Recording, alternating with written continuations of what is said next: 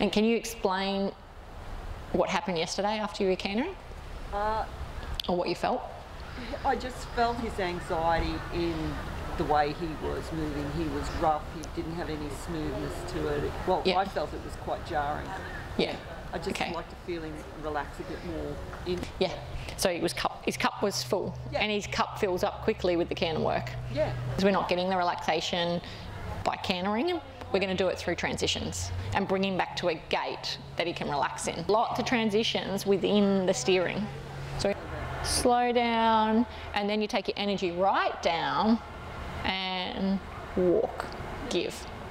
Okay, so it's lots of preparing, especially for your downward transitions. How soft can you get him to, to trot?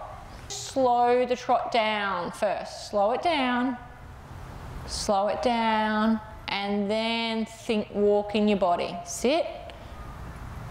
Nice. Horses get faster, people get a little tighter, which then causes the horse to get even faster. Slow, yes, slow it all down. He's thinking left, you can ask him to canter, but don't over cue him. That was nice. That was a big improvement from yesterday. A huge improvement.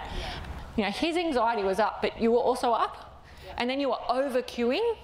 In canter, he sort of jumping into the canter, and then because he would jump into the canter, then you were grabbing him a little bit, and then he was getting more worried, and then they'd go, oh, and then you're tight, they're tight. Practice lots and lots of transitions. So try not to um, rub him too much when he's yawning because you'll interrupt it. See this here?